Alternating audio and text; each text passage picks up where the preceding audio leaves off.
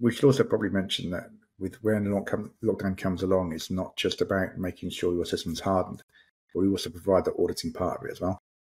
So uh, the last couple of years, I think probably two and a half years ago, George, we started doing not just the remediation through Ansible and making sure that it's hardened, but providing a, an automation way of making sure that Ansible's doing what we want it to do, and you'll get the results you want.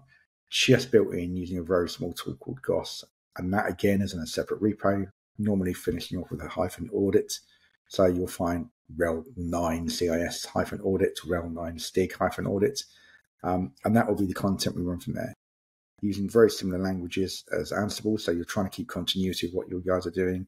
And again, highly configurable. So that's all part of the Ansible Lockdown Enterprise subscriptions. It's all available to the community. Um, and obviously, we're working hard with all the people out there to try and make sure we make this bigger and better all the time. And then those audits are also linked with the, the, the relevant hardening baseline. So when you run a hardening baseline uh, with a simple variable toggle, you can have those audits do a, a pre-scan and a post-scan for running the remediation. So you can see how out of compliance you were and how in compliance you are afterwards. And it generates a report in a, in a couple of different formats. Generally, it's JSON is, is what most folks use.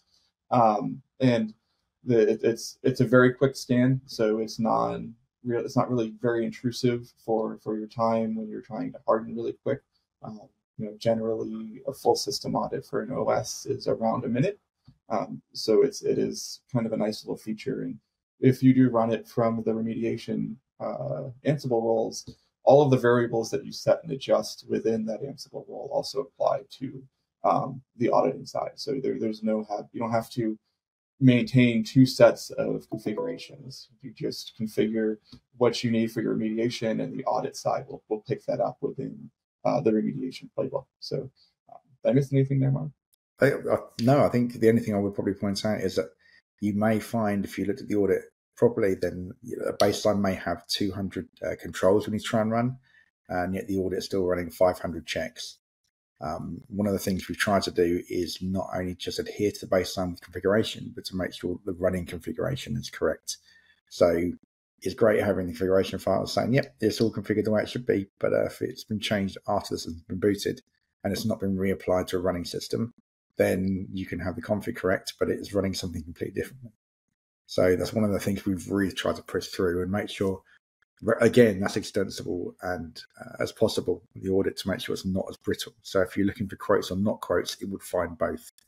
Um, those sort of where you can configure one way, someone else can configure a different way, but both ways will pass rather than just being it has to be precise and exact.